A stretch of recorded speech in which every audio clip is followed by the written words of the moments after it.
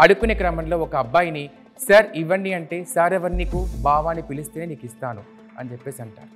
ఒకరు నీ చెంప గిల్లితేనే ఇస్తా అంటారు. మరొకరు నీ పెదాలపైన ముద్దు పెట్టిస్తేనే పది రూపాయలు ఇస్తా అంటారు. ఒక హిజ్రా మరో హిజ్రా పెళ్ళి చేసుకుంటారా?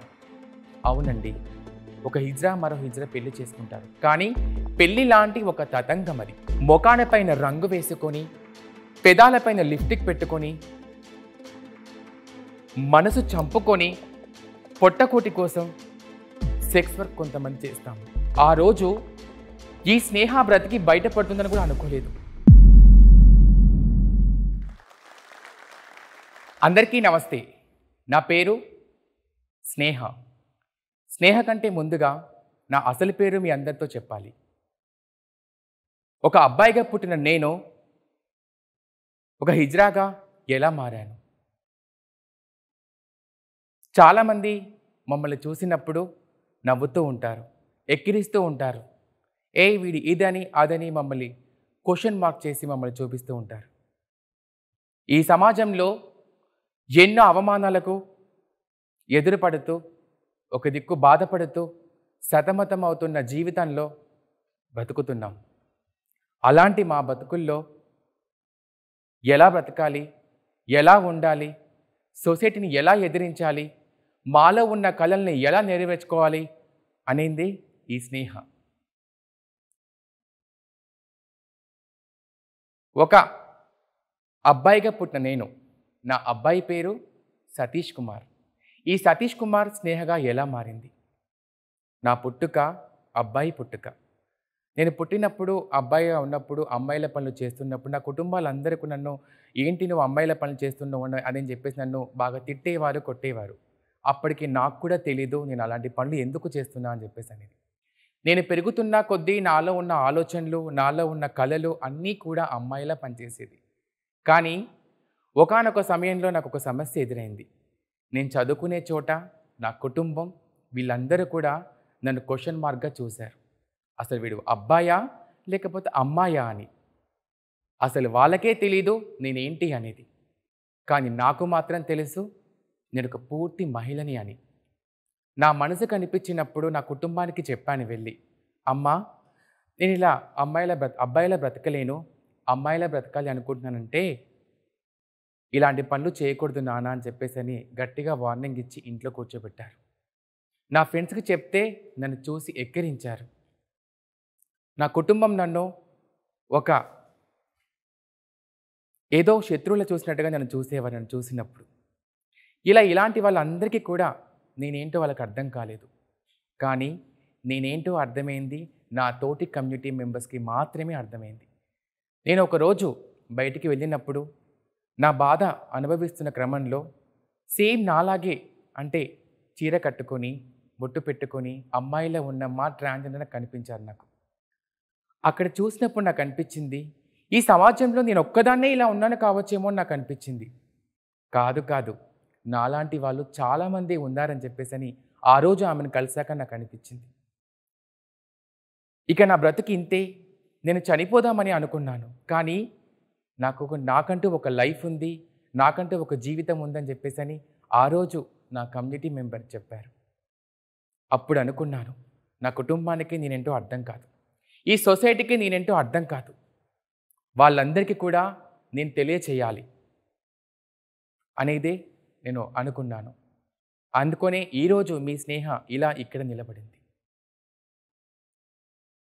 సమాజంలో ఎన్నో అవమానాలకు గురి అవుతూ బాధలు అనుభవిస్తూ చీకటి గదుల్లో బ్రతుకుతున్న మాకు ఒక వెలుగు కావాలి. ఆ వెలుగు కావాలంటే ఫస్ట్ మా గురించి అందరికీ తెలియచేయాలి.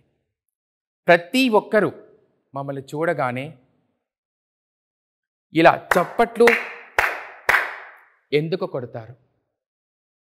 ట్రైన్లు ఎక్కగానే ఇలా కొట్టగానే మా చప్పట్లు విని భయపడతారు. బస్తీలలో షాప్ అయ్యేటప్పుడు ఇలా కొట్టగానే మమ్మల్ని చూసి భయపడతారు. అసలు భయం ఎందుకు? మేము మనుషులేమే కదా.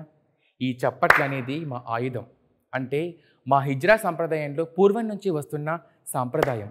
ఇలా కొట్టి ఈ చప్పట్లతో ఆ ఇంటిపై ఉన్న అంటే మేము ఇక్కడ షాప్ ఓపెనింగ్ అయినా కానీ గృహప్రవేశాలైనా సరే పిల్లలు పుట్టినా సరే పెళ్ళిళ్ళైనా సరే అక్కడికి వెళ్ళి ఈ చప్పట్లతో మేము పాడే పాట పాడి ఆ ఇంటికి అంతా మంచి జరగాలని చెప్పేసి నేను దీవించి వస్తాను.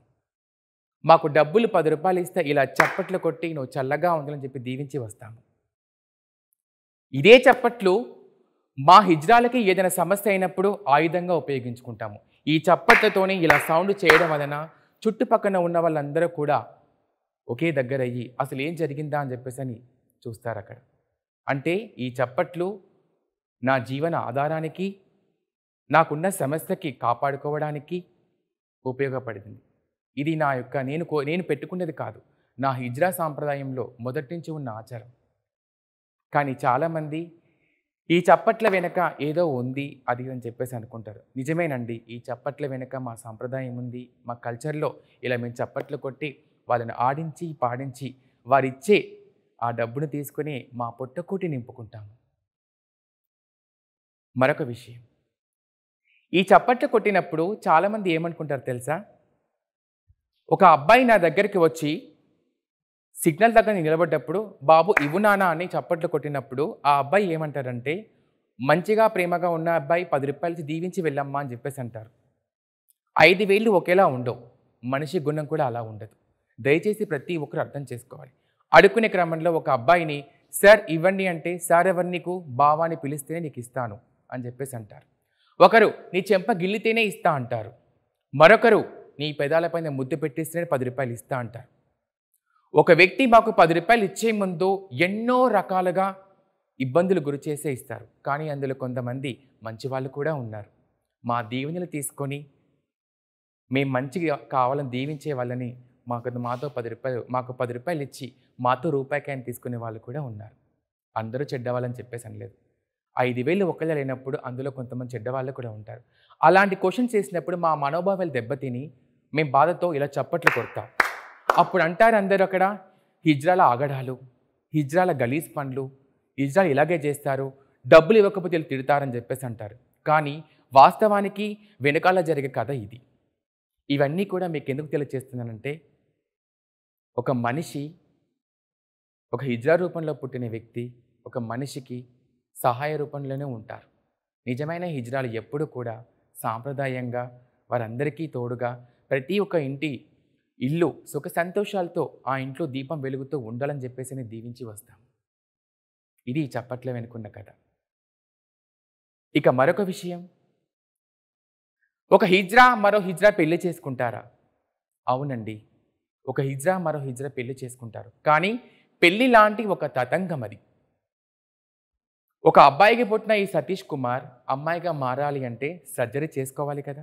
సర్జరీ చేసుకున్న తర్వాత మా సంప్రదాయంలో నలభై ఒక్క రోజు ఒకే గదిలో ఉండి ముర్గీ మాత అమ్మవారి ఆలాపనతో అమ్మవారి దీవెనతో నాలుగు గోడల మధ్య నలభై ఒక్క రోజు ఉండి నలభై ఒక్క రోజు చివరి రోజు అమ్మవారి అంటే ముర్గీ మాత అమ్మవారి పూజ చేసి అయిన తర్వాత ఎవరైతే మా గురువు అంటే మా హిజ్రా కల్చర్లో మా గురువు అయితే ఎవరైతే ఉంటారో ఆ గురువు గారు మాకు లచ్చ అని కడతారు.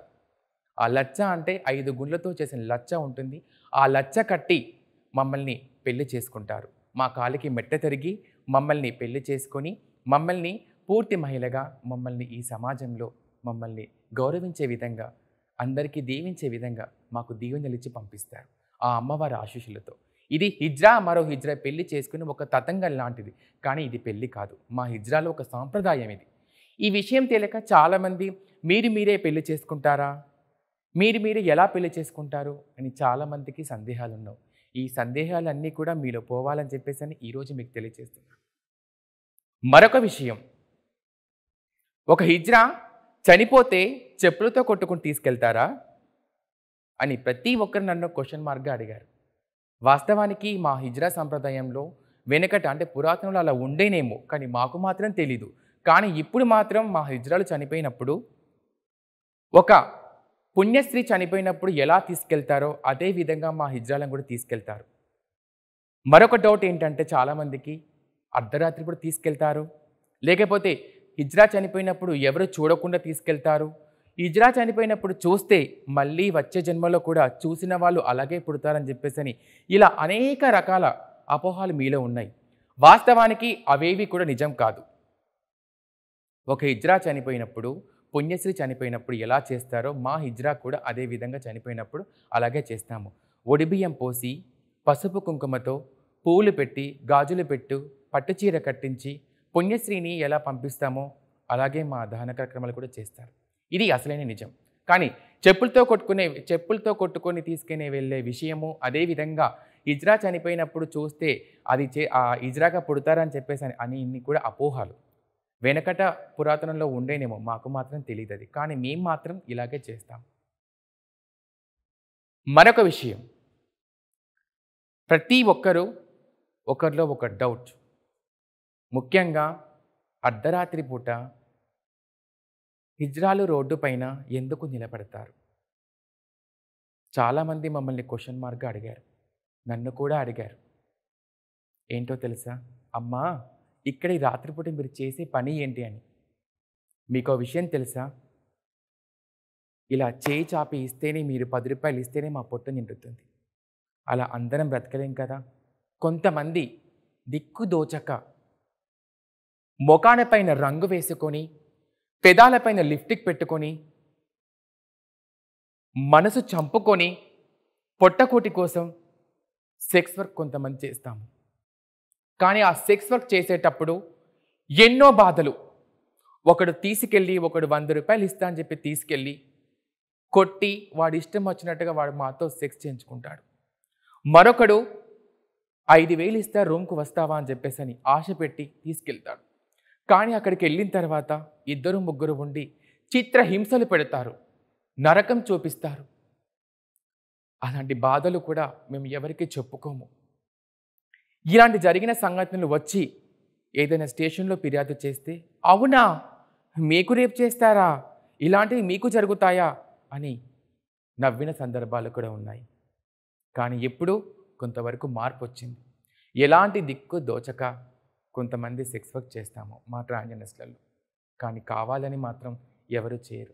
ప్రతి ఒక్కరు కూడా గౌరవంగా బ్రతకాలని మాత్రమే కోరుకుంటాము. అదేవిధంగా మా హిజ్రా కల్చర్లో కూడా మేమందరం కూడా మా సాంప్రదాయాన్ని మీ అందరికీ తెలియచేస్తూ మా జీవనాధారం మీ అందరికీ తెలియచేసి మీ అందరి మనసులు గెలుచుకొని ఈ ఒక్క స్టేజ్లో ప్రతి ఒక్క స్టేజ్లో ఒక ట్రాన్స్జెండర్ ఉండాలి అని చెప్పేసి అని కోరుకుంటుంది. మా యొక్క హిజ్రా కల్చర్. హిజ్రాలు అడుక్కుంటారు.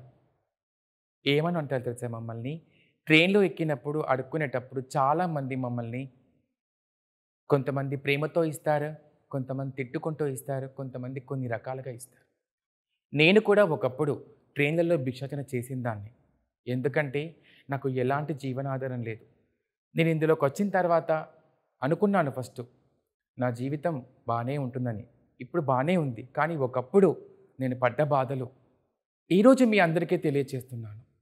అదేంటో తెలుసా? నేను ట్రైన్లలో బెగ్గింగ్ చేసేదాన్ని.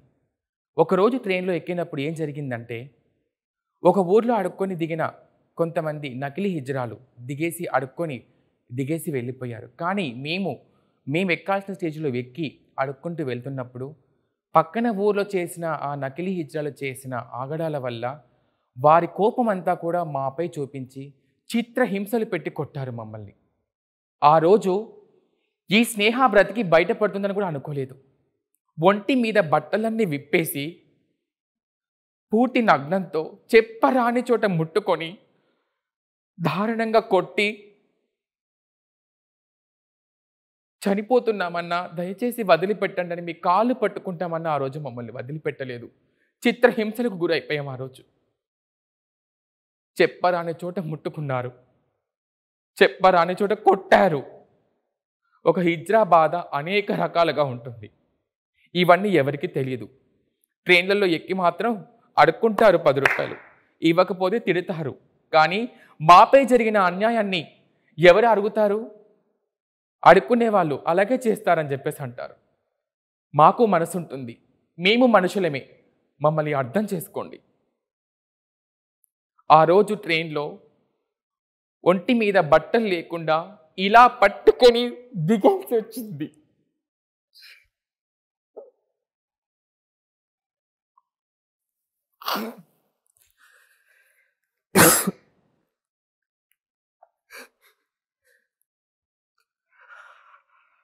అక్కడే ఉన్న పక్క బోగిలో మా ట్రాన్జెండర్స్ అందరూ కూడా కలిసి మమ్మల్ని తీసుకొని ఇంటికి వెళ్ళారు. ఆ రోజు నేను బ్రతికి ఉంటానో కూడా నాకు తెలియదు వాస్తవానికి మీ అందరికీ తెలుసో తెలీదు. ఒక హిజ్రా భిక్షాటనకి వెళ్ళి ఇంటికి తిరిగి వచ్చేదాకా నమ్మకం లేదు. అలాంటి సిచ్యువేషన్లో బ్రతుకుతున్నాము. దయచేసి మమ్మల్ని అర్థం చేసుకోండి. నిజమైన హిజ్రాలు ఎప్పుడు కూడా తప్పుడు పనులు చెయ్యరండి. ప్రేమగా అడుక్కొని దీవించి మాత్రమే వస్తారు. మమ్మల్ని అర్థం చేసుకొని మమ్మల్ని ముందుకు నడవనివ్వండి. సపోర్ట్ చేయండి వెనుక ఉండి. జాలి చూపించకండి మాకు. మీ జాలి చూపిస్తే మేము ఇంకా ముందుకు వెళ్ళలేమండి కానీ మీ సపోర్ట్ మాత్రం మా హిజ్రా కమ్యూనిటీ అందరికీ కావాలి. ఎందుకంటే కొన్ని కోట్ల జనాభాలో కొన్ని లక్షల మంది ట్రాన్జెండర్స్ ఉన్నారు. మీ అందరి సపోర్ట్ మాకెప్పుడూ ఉండాలి. చాలామంది మరొక డౌట్. హిజ్రాలు ముసలి వాళ్ళు అయిన తర్వాత ఎక్కడ ఉంటారు? అవునండి మీ డౌట్ నిజమే. నిజంగా ఇలాంటి సందేహాలు మీకు రావడం నిజంగా నా మనసుకు ఎంతో సంతోషాన్ని ఇచ్చింది ఇది ఈ విషయం తెలియజేస్తున్నందుకు ఈ సొసైటీలో ఉన్న వాళ్ళందరికీ కూడా నా హిజ్రా కమ్యూనిటీ యొక్క నా ట్రాన్స్జెండర్ యొక్క కమ్యూనిటీ యొక్క వ్యవస్థ పైన ఉన్న అపోహాలన్నీ కూడా ఈ షో ద్వారా తెలిగిపోవాలని చెప్పేసి అని కోరుకుంటున్నాను. ఒక హిజ్రా ముసలి వాళ్ళు అయిన తర్వాత వారి యొక్క పూర్తి బాధ్యత కూడా మేమే చూసుకుంటాము. పూర్తి బాధ్యత కూడా మాదే. ఎందుకో తెలుసా? నేను ఒక హిజ్రా అని తెలిసినప్పుడు నా కుటుంబం నన్ను వెలేస్తుంది. ఈ సొసైటీ నన్ను ఒక క్వశ్చన్ మార్క్గా చూస్తుంది. నా చుట్టూ ఉన్న వాళ్ళంతా కూడా నన్ను ఒక క్వశ్చన్ మార్క్గా చూసి చూస్తుంది. అలాంటి సమాజంలో మా హిజ్రాలు కూడా ముసలి వాళ్ళు అయిన తర్వాత కూడా వారి యొక్క పూర్తి బాధ్యత కూడా మేమే చూసుకుంటాం. మరొక విషయం తెలుసా? చాలామంది మమ్మల్ని అడిగారు. హిజ్రాలకు మతాలపైన కులాలపైన ఏమైనా దూరం ఉంటుందా అని అడిగారు. వాస్తవానికి మా హిజ్రా కల్చర్లో ఉన్న వాళ్ళందరికీ కూడా కుల మత భేదం అనేది ఏదీ ఉండదు. అందరం ఒకటే. మేమంతా కూడా ఒకటే. ఎవరికి ఎక్కడ ఏ సమస్య వచ్చినా ఐకమత్యంగా మేము పోరాడతాము ఐకమత్యంగా మేమందరం కలిసి మా సమస్యని మేము పరిష్కరించుకుంటాము.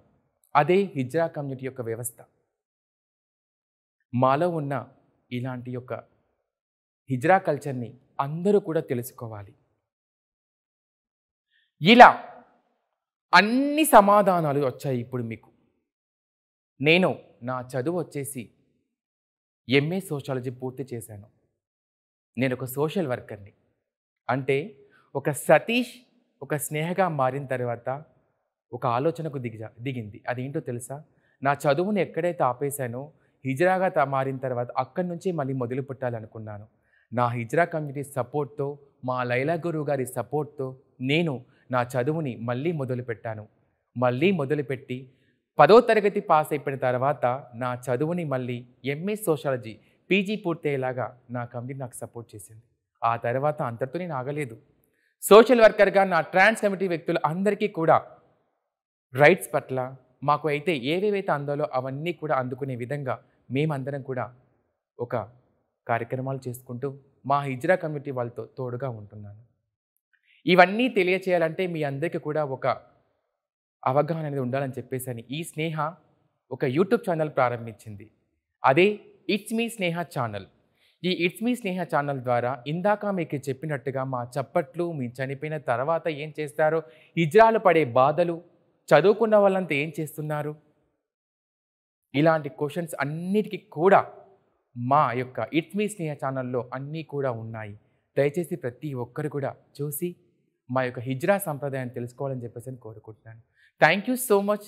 నాకు జోష్ టాక్ షో ఈ అవకాశాన్ని కల్పించినందుకు నేను ఎప్పుడు కూడా జోష్ టాక్ షో యజమాన్యం అందరికీ కూడా పేరు పేరున thank you thank you so much thank you so much నేను మీ స్నేహ. మీరు జోష్ టాక్స్ చూస్తున్నారు అంటే మీ లైఫ్లో ఏదైనా సాధించాలి అనుకుంటున్నారని అర్థం. ఈ నేర్చుకునే క్రమంలో మీకు తోడుగా ఉంటుంది జోష్ టాక్స్ ఇంగ్లీష్ స్పీకింగ్ యాప్ ఇందులో మీ డ్రీమ్స్ని సాధించడానికి కావాల్సిన అన్ని స్కిల్స్ నేర్చుకోవడానికి మేము హెల్ప్ చేస్తాము. ఇంగ్లీష్ మాట్లాడటానికి కాన్ఫిడెన్స్ లేకపోయినా మీ పర్సనాలిటీని డెవలప్ చేసుకోవాలి అనుకున్న one stop solution Josh Talks English speaking app ఇక్కడ మీకు ఒక కమ్యూనిటీ ఉంది మీకు హెల్ప్ చేయడానికి. ఇంకెందుకు లేట్ ఈ రోజే డౌన్లోడ్ చేసుకోండి Josh Talks English speaking app మీ కళల వైపు మొదటి అడుగు వేయండి. ఈ వీడియో పైన మీ అభిప్రాయాన్ని కింద కామెంట్స్ రూపంలో మాకు తెలియచేయండి. అలాగే ఈ వీడియోని మీ స్నేహితులకు మరియు కుటుంబ సభ్యులకు షేర్ చేయండి.